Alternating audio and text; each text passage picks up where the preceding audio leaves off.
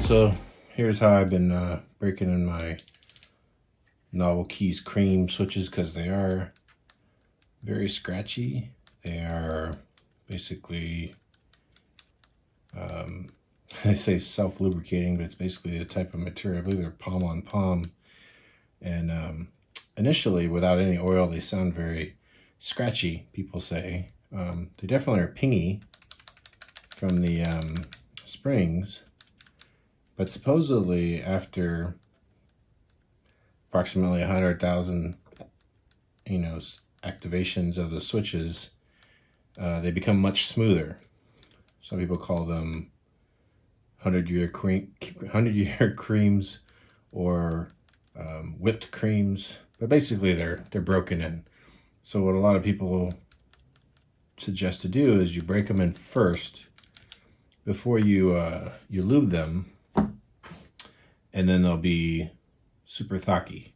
So we'll see if that's true. Um, but basically, here's how I've been doing, other than just um, occasionally actuating them randomly.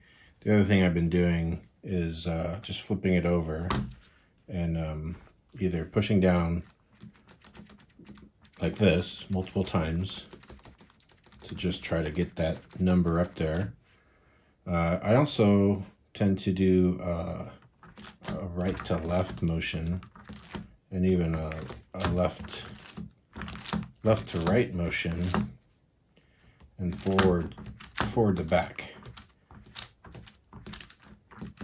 And what that does is it really really gets that uh, stem and housing working against each other so they kind of smooth out in all directions. So um, the other way I, I do it to make it a little bit easier is to just grab it like this, actuate it like that. Because honestly, it gets a little tiring doing it like this over and over again.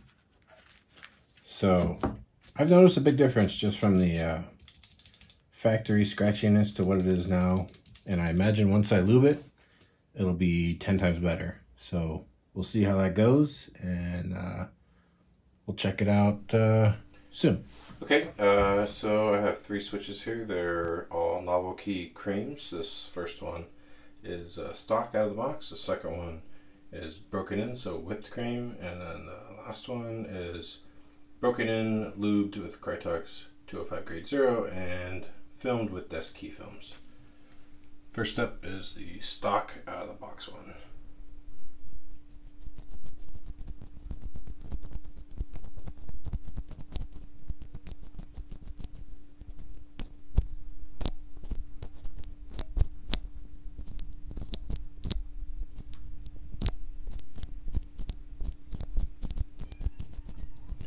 You should be able to hear a little bit of the scratchiness from the brand new POM switch and POM casings.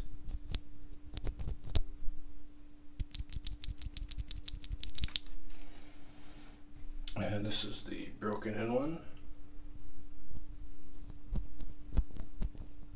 Should be much smoother.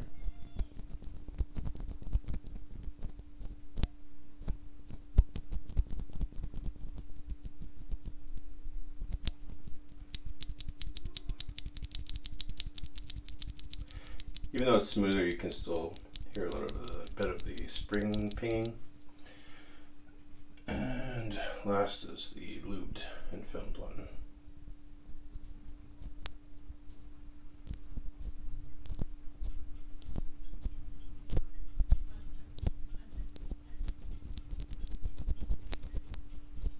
Should be near silent.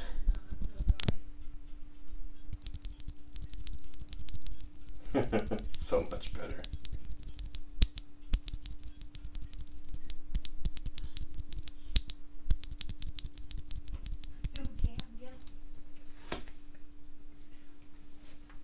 All right, if you could uh, tell the difference, let me know down in the comments. All right, thanks. All right, it's uh, time for that sweet sound test.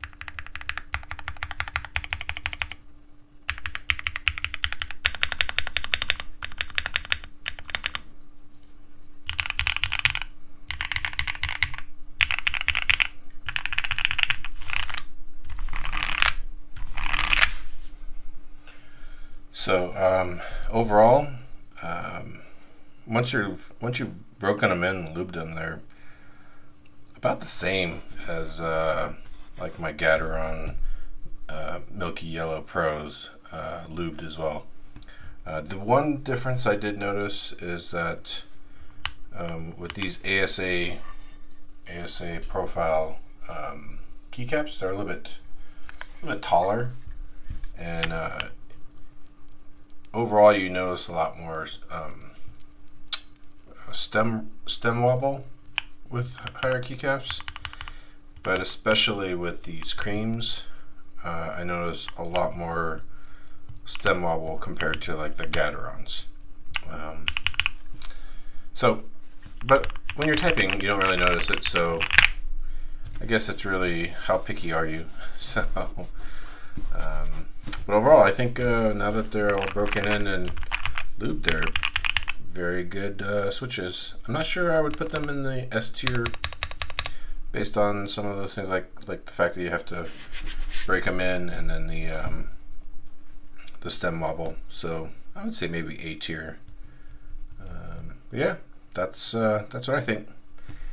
Thanks for watching my video. We'll see you guys later.